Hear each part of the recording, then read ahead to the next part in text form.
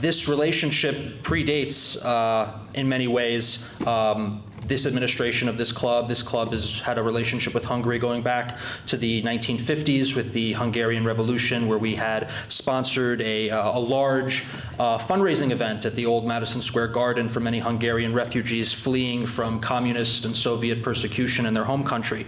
Uh, and we've carried that tradition forward to today, to today uh, where we are also facing a, uh, where Hungary is also facing a very similar onslaught of very like-minded Soviet and communist-esque actors, but this time time not in Moscow, more in Brussels and London and everywhere else.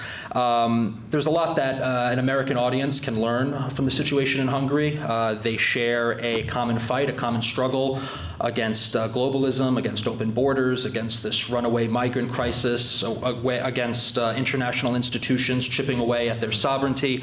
Uh, these are all things that we can learn and understand from and build uh, a deeper understanding about how to combat them. and I think in Hungary, they've achieved massive success. They They've achieved massive success in standing up for themselves and securing their borders and developing their domestic cultural uh, traditions and you know fighting for them against all the odds, against sanctions practically, where they're withholding money in Brussels, where they're threatening uh, the Hungarian government, not even treating them like an ally. And in fact, Hungary is an ally of the United States. They're a treaty ally. We have obligations to them through NATO, and um, sometimes our own government doesn't act that way. Uh, for all these reasons and more, um, this bond, this relationship is continuing to grow, continuing to foster, and continuing to develop. And I'm very happy and honored uh, that our club can be a small part of that and a small part of uh, advancing uh, our shared common uh, cause and our common fight. Uh, with that said, uh, today uh, it is an absolute honor to be welcoming to New York, to our club, to speak and address you all this evening, the Hungarian Minister for Foreign Affairs and Trade, Peter Szijjártó. Perfect. Uh, I'm working on my Hungarian, but uh, it is uh, it is not the easiest language uh, to to grasp. But uh, the foreign minister, the honorable foreign minister, will be speaking to us this evening. He has been the foreign minister since 2014. I believe he's the longest continuously serving foreign minister in Europe, at least, and he has been leading the way for common sense, common you know common sense as it comes to the situation in Ukraine, where they have been the loudest voice calling for peace, calling for negotiations, calling for an end to the bloodshed, uh, something that we need to hear a lot more of, not just in Europe, but also in the United States. And he has obviously been fighting uh, many of these battles that I just referenced against Brussels, against uh, many Western organizations, NGOs, and others, our own ambassador even sometimes. And uh, it's unfortunate that they have to fight these battles, fight these fights to simply enact uh, their democratic mandate that they received under Prime Minister Viktor Orban's leadership. And uh, they've been winning resounding uh, majorities and victories in their country, and they are governing accordingly. Um, but he's going to have a lot more to say on all of that. So with that said, I would like to welcome up to the stage the Honorable Minister for Foreign Affairs and Trade from Hungary, Minister Peter Szijjártó. Thank you.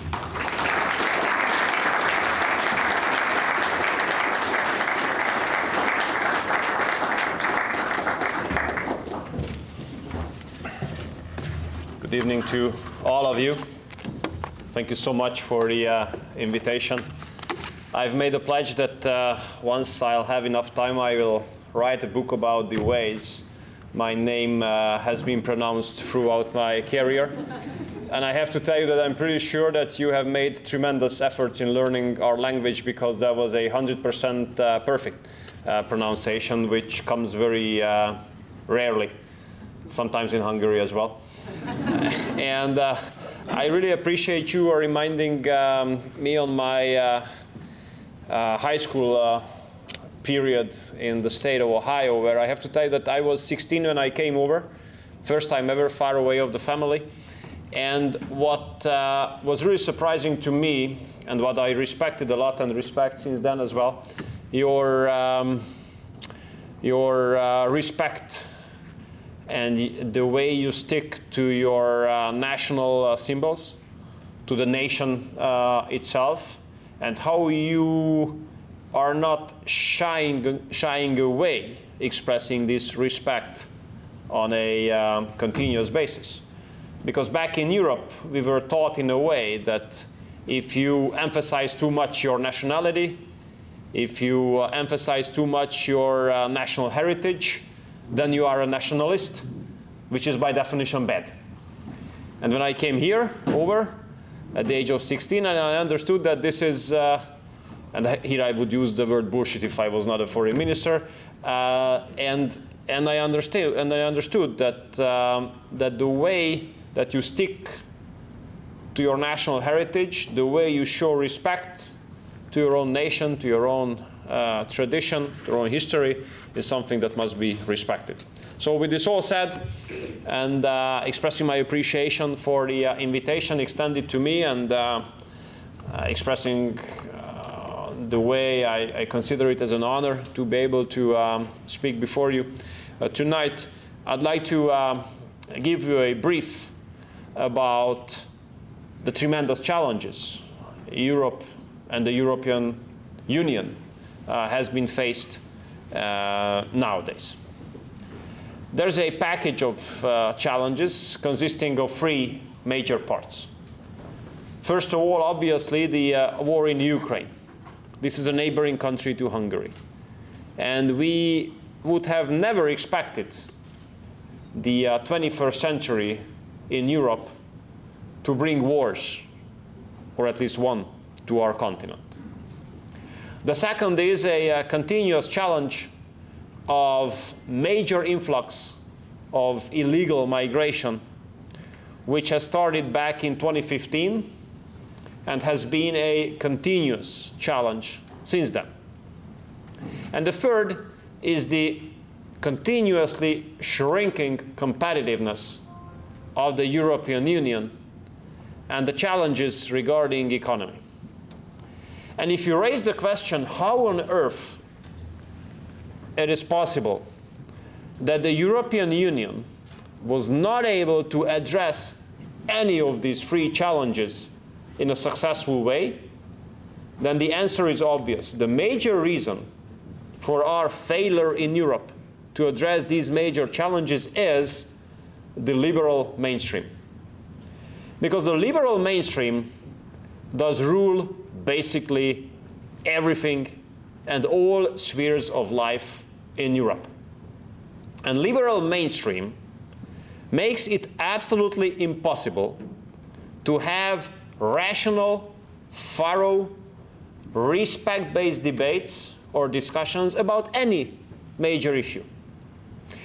If you raise in Europe nowadays that it might be better to concentrate on how to make peace in Ukraine than carrying weapons, then you have three options to pick one of these. Either you are a spy of the Russians, or you are a friend of Putin, personal, or you are a damn propagandist of Kremlin. These are the three options. You can choose one. This is what I uh, feel at least once a month as the uh, meeting of the foreign ministers of the European Union takes place so regularly. And when I, when I collect all my braveness and speak like this, then these are the three options where it usually ends up.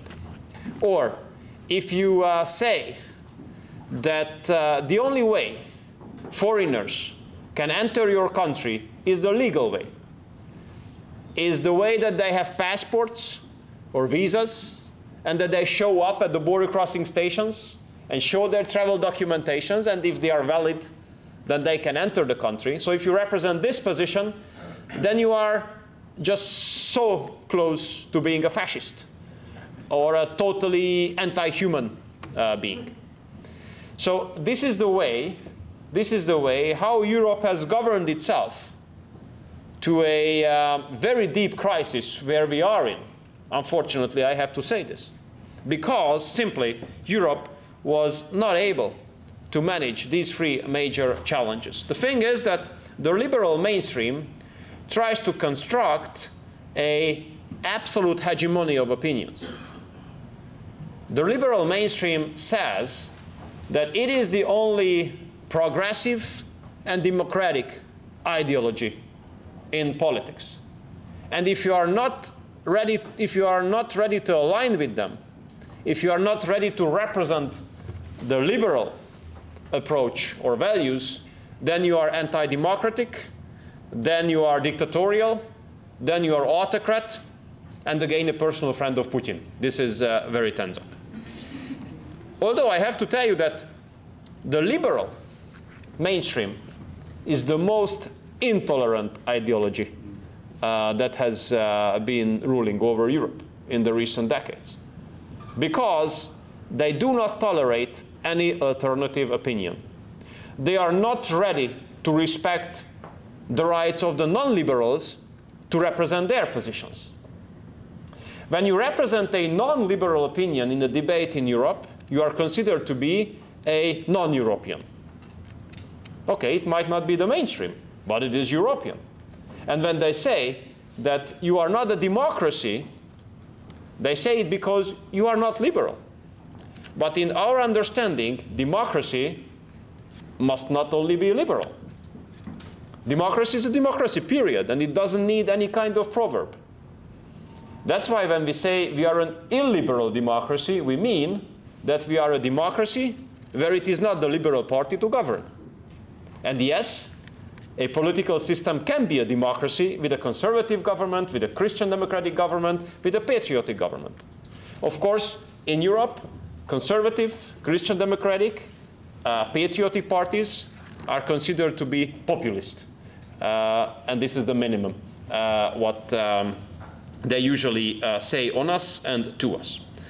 And the liberal mainstream in Europe rules the media and rules the NGO world and rules the network uh, of uh, civic organizations.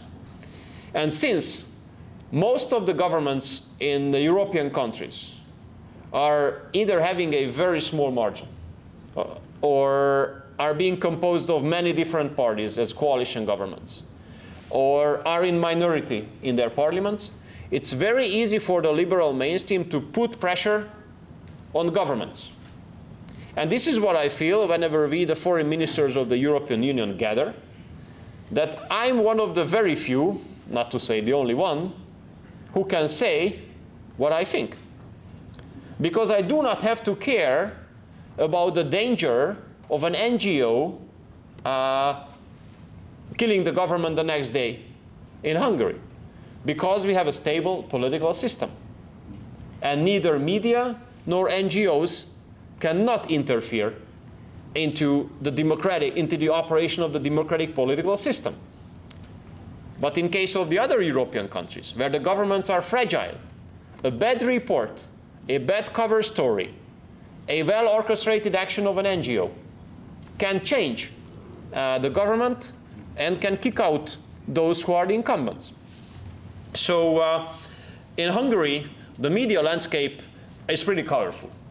I would say that around half of the uh, media outlets are kind of supportive what the government has been doing. Half of them hate us. This is a colorful media landscape. According to the uh, European, uh, current European standards, this is a media dictatorship. Why? Because the liberals do not have a 99.9% .9 share uh, in the media landscape because this is the general situation in Europe now. The media is 99, okay, 99.5 uh, percent uh, liberal. And if you have a conservative media, it is immediately stigmatized. You know, slave media, you know, uh, being sponsored by the government. Uh, this is what I say, that the liberal mainstream is very um, uh, intolerant. So I'd like, to, um, I'd like to tell you shortly about these three challenges. First of all, regarding the war in Ukraine. As a representative of a neighboring country, I have to tell you that the European strategy regarding the war in Ukraine has totally failed. Because what was the strategy? The strategy was that Europe feeds Ukraine with weapons, with money, and with information so that Ukraine would win the war Russia would lose the war, and there would be a political earthquake in Russia. Now, two years have passed. Ukraine is definitely not winning the war. Russia is definitely not losing the war. And the sanctions implemented by the European Union are more harmful to Europe itself than to Russia. And on top of that, and on top of that, with every other day spent in the war, more people die, and more destruction uh, takes place. Hungary is the only country in NATO which does not deliver weapons to Ukraine. Simply because we know that the more weapons are delivered there, the longer the war will take, and the longer the war will take, the more people will die, and the more destruction will uh, take place. And um, you know, there's a Hungarian community in Ukraine, 150,000. And many of these Hungarians, since they are Ukrainian citizens, have been mobilized to the Ukrainian army. Most of them have been deployed uh, to the front lines, and many of them have died, unfortunately. So when we speak about the necessity of ceasefire and peace talks to be launched, then we say it as a representative of a nation, members of which are dying in this war. So we look at this war from a totally different angle than others. Thanks God, no Luxembourgish people have died yet. Thanks God, no Dutch people have died yet. Thanks God, no Danish people have died. So their approach and their angle, by definition, is totally uh, different than ours. And, um, you know, sanctions have been uh, implemented on Russia. What is the outcome? What is the outcome? The Russian oil is being uh, bought by the Chinese much cheaper than it used to be sold to Europe. And now Europe is uh, buying uh, much uh, more expensive oil than before. We are being pushed to uh, implement uh, sanctions on the Russian nuclear industry, which, which would be a tragedy to Hungary, given the role Russians have been playing um, in our nuclear energy sector. And what I read in the papers, that Russia became the number one uranium supplier of the United States last year. The US spending more than a billion euros, or dollars, or a billion dollars in Russia to buy Russian uranium. And then we are being pushed to put sanctions on them. And you know, what I see is that uh, the Russian export to oil uh, is being increased to some countries, not to name them, from where the import of oil on behalf of the European Union is increasing big time. so then what are we speaking about? The sanctions simply do not work. The sanctions are hitting European economy itself and have no major impact on the Russian economy. So the European strategy regarding Ukraine has uh, failed. On migration, you know, we made it very clear that we stick to our sovereign right to make a decision whom we allow to enter the country and with whom we are ready to live together. And there's no way that any external forces, be it Brussels, Washington, Berlin, whoever, would tell us whom to allow to enter the country. No way. It's our own sovereign right. So when the migration crisis has hit Europe, we have built a fence at our border, we have deployed army, deployed border guards, deployed police. 24-7. And for, to give you, an, give you an idea, the year before the last, we have stopped 275,000 illegal migrants at our border. 275,000 in a year. Last year, almost 200,000. Imagine what would have happened if we had them, you know, let them come in. How many more would have come, knowing that they could come in? So, and, and you see the outcome. Parallel societies have been created in the Western European countries. You see now the anti-Israel protests uh, on the streets uh, of the western part of Europe. You see the modern age anti-Semitism raising, uh, not only here in the US, but in the, and the uh, Western European countries as well. And when it comes to economy, you know, the European Union used to be number two in the world when it comes to share of global GDP. Now we are only number three because China has overtaken us. And what's the answer of the German Greens on that? Decoupling. Fine which means that all German um, uh, automotive companies uh, will have to, you know, uh, look for totally new strategies. Because what happens in Hungary is the following, you know. Uh, we are the, one of the three countries in the world, besides China and Germany, where the three German premium car makers are having factories. Who are their number one suppliers? The Chinese. You know, they always ask me to bring their Chinese suppliers to Hungary. But not just to Hungary, and not just to the same city, to the plot next door you know, to, uh, to uh, decrease supplier uh, chain basically to zero. So, regardless of the uh, failure of, uh, of the European Union in addressing these major challenges, I have to tell you that Hungary has not only survived the recent years, uh, but we proved to be um, really successful. And sorry to say that so bluntly. and, the, and, the major, and the major basis for, our, for us being successful is that based on the smart decisions of the Hungarian people, the political system is really stable in Hungary. We have won the last four elections, 2010, 14, 18, 22, all of them with a two-third majority in the parliament. And we have not won it on the lottery.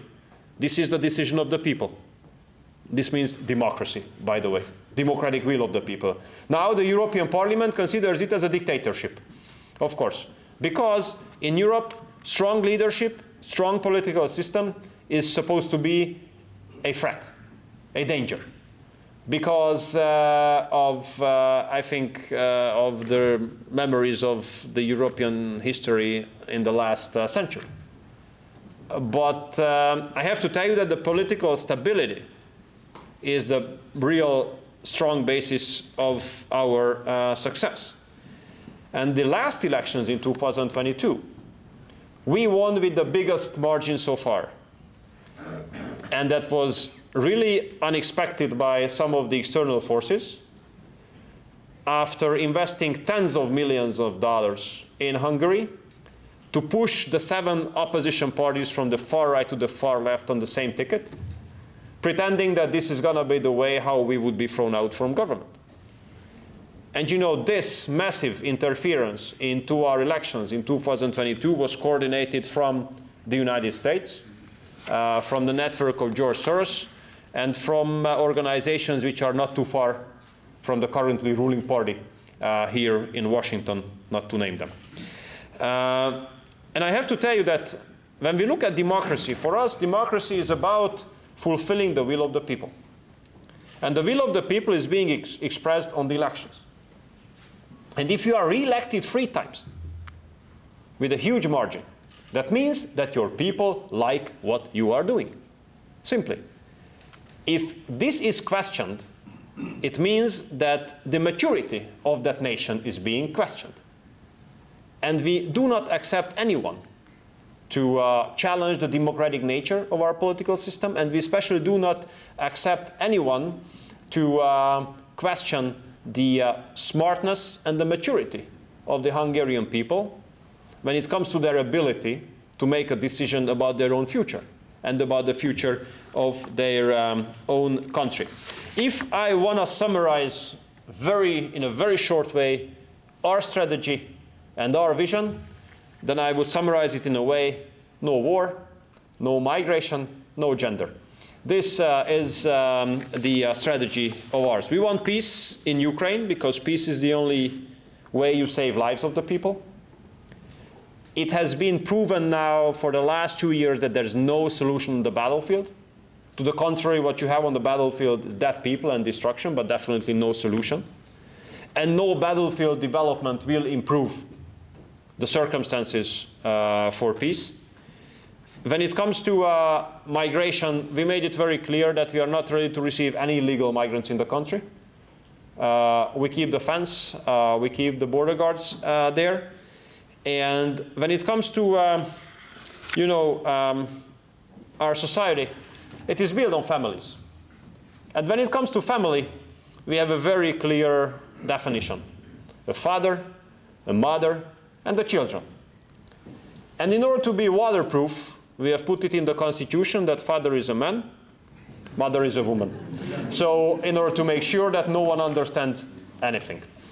Um, and we have made a decision that we protect our children from the arrogant uh, and aggressive uh, gender propaganda. So we have banned these LGBT organizations from the schools and from the kindergartens. And we have made it very clear in the regulation that the uh, education of the children regarding sexual orientation is the exclusive right of the parents. And we have forbidden all um, homosexual and um, gender change, or how it is called, propaganda uh, for anybody under the age of 18. And um, we have a very clear uh, approach that once you were born as a man, then the state will consider you as a man. If you were born as a woman, then the state will consider you as a woman during your entire life. Um, last but not least, we look at the United States as a true friend and a true ally. Although your ambassador in Budapest is working against that very uh, determinedly, but, uh, but we still consider you as a friend and ally uh, of ours.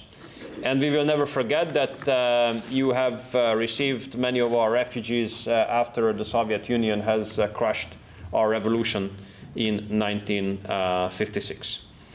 But it's more than obvious that the current administration um, has a very hostile approach towards Hungary and it's also obvious that the current administration is interested in weakening Europe. This is one of the reasons I think that they are feeding the war uh, in Ukraine. So uh, we want peace and we want an improved, respectful US-Hungarian relations. And both have a name. Peace has a name and the improved US-Hungary relations have a name as well. And this name is definitely President Donald Trump. And uh, we, uh, and you know, we are, we are so much fed up. We are so much fed up of, of the phenomenon in international politics that everybody interferes into the issues of others. There are many who think that they are smarter than those uh, who have to make their own decisions about their own country and their own future. So, you know, I have no intention, and we Hungarians have no intention to interfere into the elections of the United States, obviously. And we have always respected the decisions of the American people, and we will continue to respect the decisions of the American people, and we try to work together with the leadership uh, which is elected. But, but politics is a job, or a profession, may I say, based on experience. And our experience is very clear. So no interference, but experience. And between uh, 2016 and 2020, we had the best ever political relationship with the United States, simply because it was based on respect. It was based on mutual respect. And of course, it's a lucky coincidence that we think about migration in a similar way, we think about the role of families in a similar way, we think about peace in a very similar uh, way, but it was based on respect, unlike the current one. So we hope that we can come back to a respect-based relationship between the two countries. And I have to tell you that it's so funny to see the fear in the eyes of my European colleagues when they look at the polls here in the United States. Thank you so much.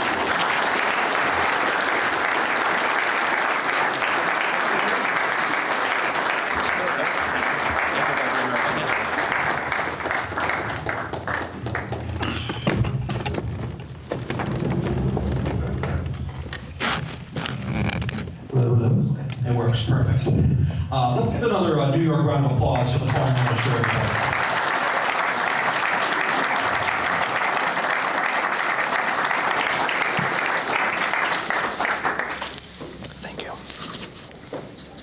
Um, a Q&A. Uh, it's going to be uh, an organized, uh, true Q&A. Uh, please no statements. Don't talk to us about your divorce or your latest lawsuit. We just want to hear questions uh, that the, the foreign minister uh, is eager to answer and to explain and teach uh, and impart his wisdom uh, onto this audience. we are going to be having a floating mic from our speakers chairwoman, Haley. So if you would like to raise your hand, she will bring the mic to you, and we can get a few questions in. So if anyone has a question? Let's, uh, let's hear it. So we have a, uh, let's get Mike Caprio right there with the glasses and the gray suit. So my question is, how can America best preserve its culture when the American left, much like you're saying in Europe, is trying to destroy our identity as country? Easy questions first. well, first, first of all, I, um, don't uh, I don't want to fall into the mistake uh, of uh, thinking about myself that I would know how you could preserve your identity. But what I definitely know is how the attempt in Europe took place to get rid of our identity. And it's uh, very similar to what has been happening here in the United States and I think that the reason of this similarity is that uh, we have the same network at the end of the story, which is the network of George Soros, uh, who has the ideology of open societies, meaning that it doesn't matter who you are, where you are from, where you are coming from, what you think. It doesn't matter. National identity doesn't matter, religion doesn't matter, um, history doesn't matter, your heritage doesn't matter, and we should not let this happen. Should not let this happen. And I understand that the uh, election here, you know, it's going to be a, a, a Super Bowl year of elections. Four billion people will have the right to vote this year. Uh, there will be, I mean, major powers going into elections, including you, including Russia, including the entire uh, European Union, India, Mexico, uh, you know, huge countries. And, and I think that, that, that at the end of the day, the future of the world, with just a very small exaggeration, the future of the world for the upcoming years will be decided in a couple of swing states in the United States. And I do hope that you have a strategy how to convince those living in these swing states. And I really do hope that we will not uh, have to be nervous at that night too long. And, uh, and after receiving the results from the first states, it's going to be it's going to be crystal clear what is the outcome. Because if the United States are not going to impose its democratic, uh, party-oriented uh, uh, political approach on the entire world, then we will be kind of liberated. And we will have a much better chance to preserve our identity, to stick to our religion, to our culture. Because currently, if you uh, speak like this, if you think like this, then you're going to be immediately punished. Politically speaking, look at. Look, look at us. Uh, the, uh, in the European Union, the, um, the funds which must be paid to Hungary based on the uh, regulations of the European Union have been frozen. Why? Because we are not aligning ourselves with the mainstream. You know, the, uh, the reference is rule of law, but I mean, come on. Come on. Our system is not worse than any other in Europe or any other in the world. Simply because of political reasons, funds are being withheld from us uh, in order to put the pressure on us to change. Last year, last year we suffered a lot. Why? Because these uh, stupid sanctions, which, uh, which are a total failure, uh, the war in Ukraine, uh, these two have ended up in skyrocketing energy prices in Europe. We as a country which is totally enforced to imports of energy, our national energy bill has increased from 7 billion euros to 17 billion euros within a year, which has pushed the inflation up to 27%. 27%, we usually have like 2-3% of inflation, 27. And the European Union has frozen the, the funds to us. And last year the question was whether you as a conservative government can survive, can survive without the European funds or not. And Brussels wanted to prove that if you do not behave well, if you stick to your identity, if you represent national interest, if you are not ready to say five times a day that Ukraine must win and Russia must lose, uh, then you cannot survive. But we have proved last year, yes, it's complicated, it's full of challenges, but you can. So I mean, sticking how you can how you can stick to your um, identity how you can preserve that you know it's i think you have to uh, you have to be really committed and you have to be really brave this is the only way Amen. Uh, for the next question, um, let's get this gentleman right here on the aisle. There's a microphone. Uh, you, you want to put it here Yeah, yeah, okay. okay and, and, but i have to use this as well okay Mr. Minister, a warm welcome to New York. I was with you in Minsk in October at the uh, Eurasian Security Ah, okay. Conference uh, when you gave a very polemical and uh, powerful speech there. Uh, Part of the scandal was I was the only American speaker among the panels, and you were the only Western leader to speak among the keynote speakers. My question is about war and peace. Uh, I'm with the Schiller Institute. We put forward a proposal for an international conference on a new security and development architecture. Uh, Helga Zepp-LaRouche circulated this internationally. At the core of it is the Treaty of Westphalia.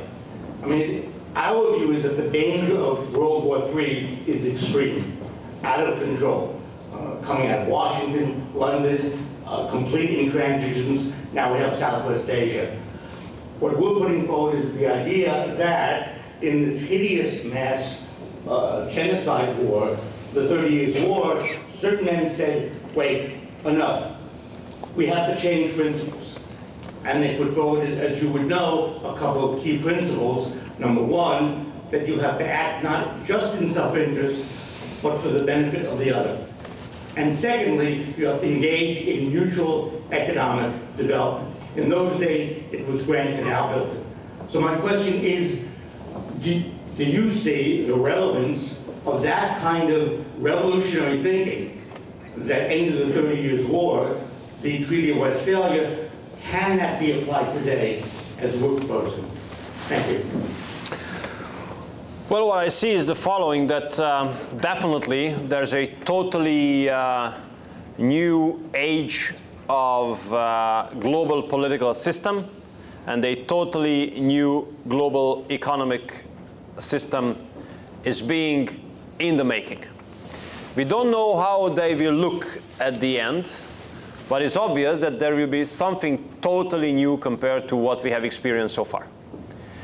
And um, based on that, I think that the uh, leader, the, the world leaders should come together and find a way how this new world order can be based on a peaceful coexistence, aiming at mutual um, advantage uh, of all the nations around the world. And I tell you why. Because what I see is that um, it's not only the, the real wars, the physical wars which take place, but the trade wars and economic wars are, I think, really, I wouldn't say equally, but really harmful.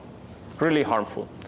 And uh, Hungary has been having a strategy which seems to be successful. Our strategic goal has been set in a way that we would like to be the meeting point of the Eastern and Western economies.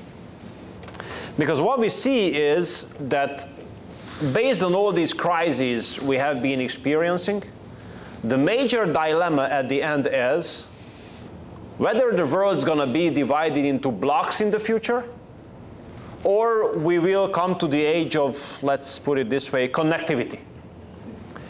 And we Hungarians do have a very clear historic experience. We were losers of the East-West conflict for 40 years. We were among the losers of the world order which was based on blocks. We have lost four decades of our lives being stuck in a communist dictatorship. We were oppressed by the Eastern Bloc and totally neglected by the Western Bloc. So we Hungarians do not want to see another world order based on blocks. We want to see a world order based on connectivity because we do believe that the global cooperation can be put on a basis which would end up in uh, mutual advantages. And once again, I have to refer back to the Germans and the Chinese working together in Hungary. Uh, the German foreign minister, uh, green minister. Uh, she usually uses the words or expressions uh, decoupling, de-risking, which are very polite expressions to, um, to speak about the necessity of isolation of Eastern and Western economies. And then I raised the question, how it is possible, I'm responsible for investments as well as foreign minister, how it is possible that the CEOs, global CEOs of the biggest German companies usually reach out to me asking me to give incentives to their Chinese suppliers to come to Hungary and work together with them there. Otherwise, they have to rethink their whole strategy. So why we do not want to carry out a political strategy for the future which is based on reality and not on an ideological approach?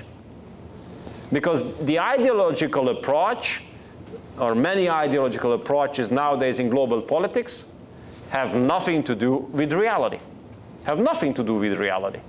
So I hope that this new world order uh, will be based on common sense and mutual respect, uh, and thus we can avoid that the world would be divided into blocks again.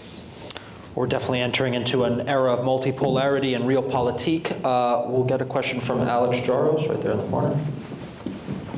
Thank you. I appreciate it. Thank you. Ron. Thank you. Thank you again for joining us tonight. There's been a headline in the last day about the EU locking horns with Hungary yet again on its national sovereignty law. I would appreciate learning a bit more about why it's so controversial, why it's critical to Hungary, and if it in any way actually does violate EU law, which I doubt it does.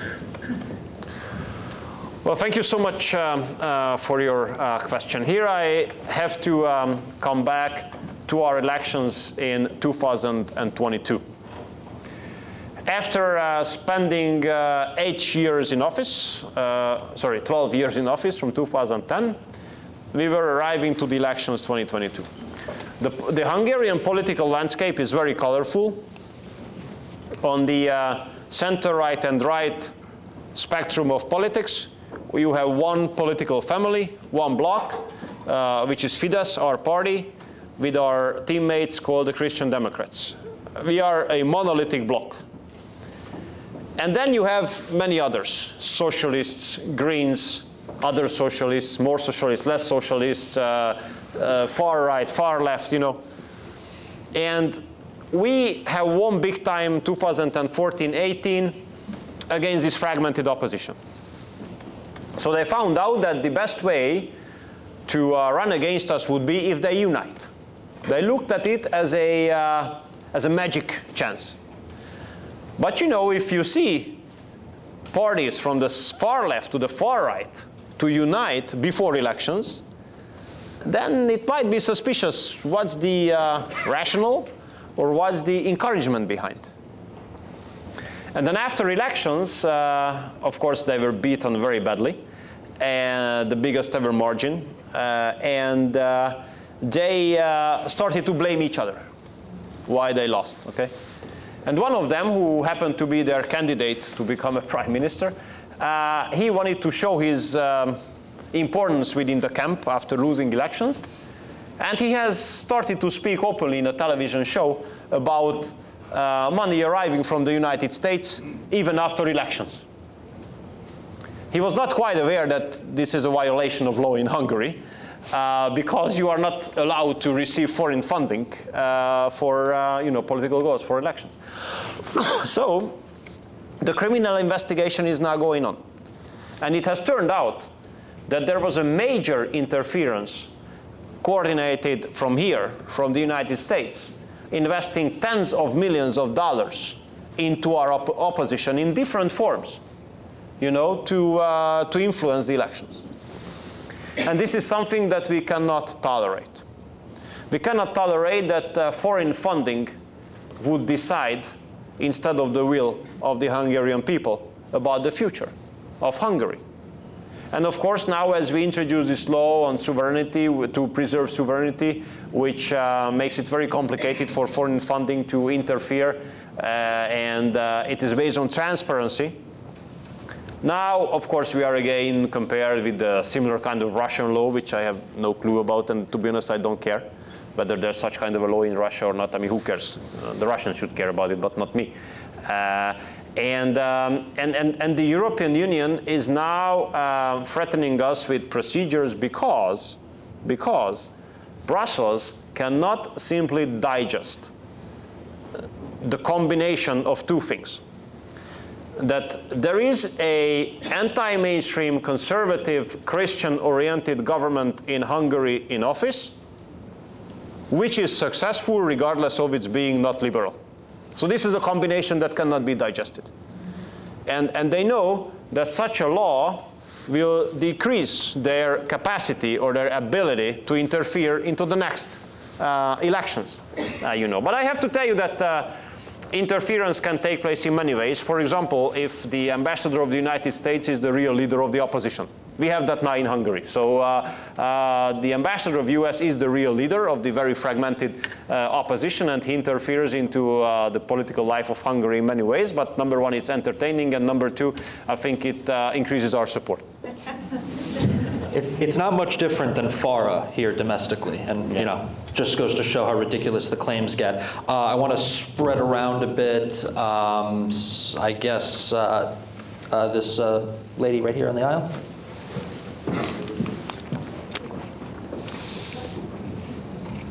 Hi, thank you. I'm actually German. Ah, good. Okay, um, and the uh, EU, European Union President Ursula von der Leyen, she said today that the farmers uh, in Germany and other countries are protesting because they are so much affected by climate change.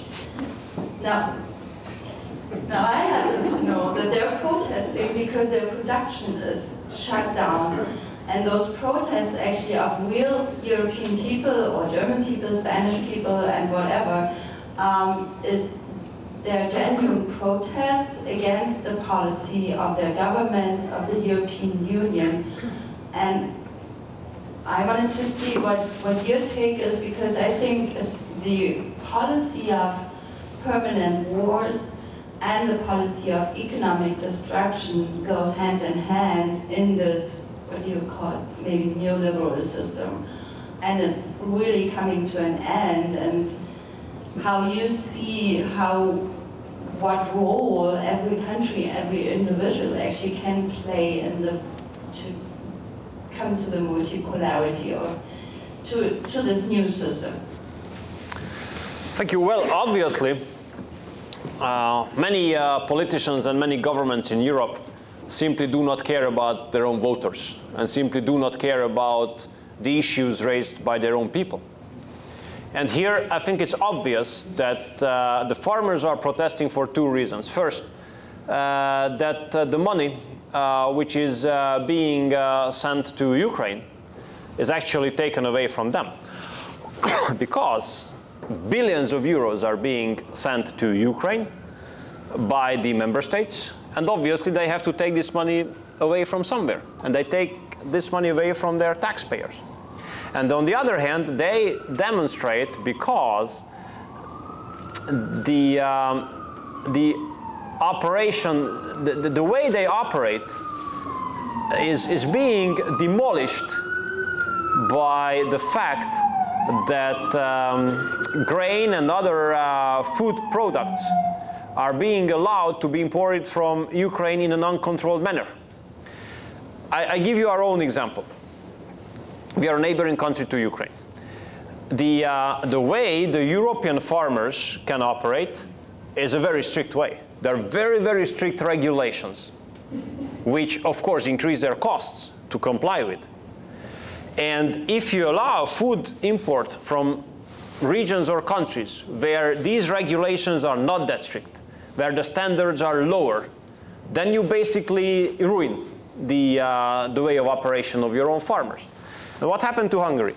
After um, the failure of the, of the grain deal on the Black Sea, uh, we have offered Hungary as a transit route for Ukrainian grain to, that the grain from Ukraine should be transited through Hungary, through, for example, Romania or Croatia, where the grain can be put on ships and then uh, delivered to uh, Africa or wherever it is needed.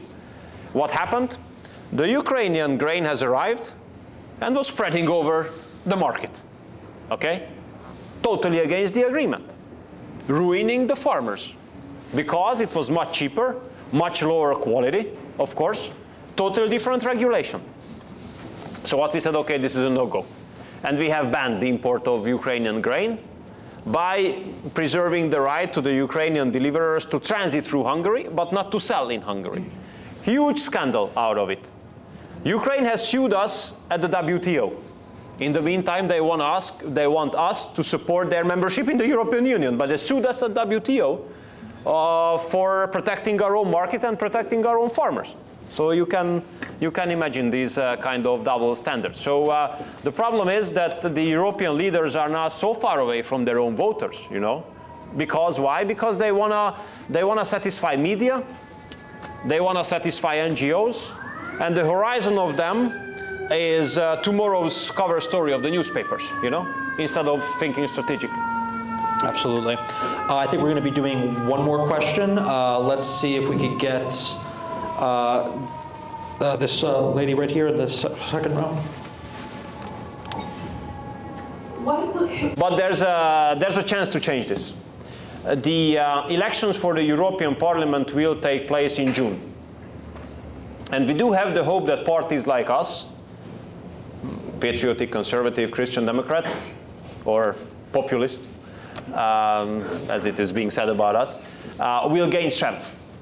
And I tell you why. Because in the European Parliament, there has been a very comfortable uh, situation so far that the People's Party, which used to be a right-wing uh, party family, but now is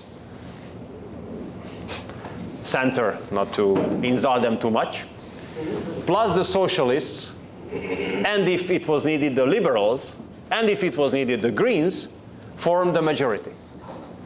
Simply because the real right-wingers were weak. But now we have a good hope that the right-wing parties will gain strength, and it will not be an automatism that the European People's Party would turn to the left and, and would make coalition with the leftist friends of them, of theirs. So in case the conservative parties can get stronger in the European Union, then we would have a much bigger influence on the decision-making procedures of the EU, on the European Parliament itself, and then we would have uh, much more leverage when it comes to the composition of the next European Commission and the person, the next person of the President of the European Council. So let's cross fingers for the success of uh, the European conservatives in June and the American conservatives in November. Now, as an outcome of the last elections in Slovakia, a patriotic government has been elected. But you cannot imagine the headwind they, they had to suffer from. Of course, accidentally and with no, uh, no real, uh, I mean, no, uh, uh no real goal, the uh, number nine of their list was arrested a couple months before elections. You know, such kind of things happen, of course. Uh, and uh, when we raised the issue that, funnily enough, such kind of things only happen with patriotic parties, you know, then uh, we were considered as, you know, uh, bastard interferers into elections. If, if something similar happened to a leftist candidate, what has been happening to your president, you can imagine the scandal.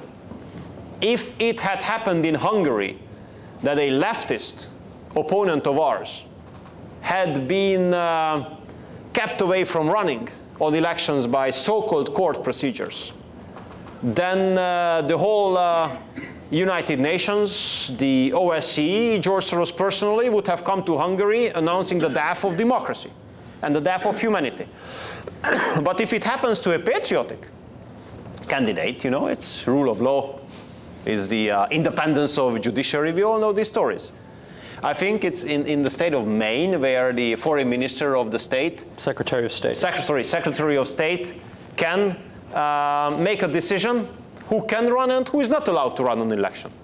I mean, I, I, will, I will never judge this because this is your country and you decide whether it's fine or not with you or not. But, but then please, please, I mean not you, but the American administration, don't teach us how to operate a democracy, okay? Because uh, because then, then we could put lists on the table on both sides and it will, will not, not end up in an advantageous way for the Americans, I think. But, but, since, but since I'm not an American, I don't care, to be honest, about your political system because you care enough and, uh, and you, you, will make your own decision. Uh, so the Slovaks, uh, the Slovak government um, is now a patriotic one. After they entered office, they have stopped the weapon deliveries uh, to Ukraine. They are under enormous, enormous attack, uh, you can imagine. And you know, this shows how the uh, former ideological dogmas uh, are gone and have nothing to do with reality. This party is a true leftist party. We are a true rightist party.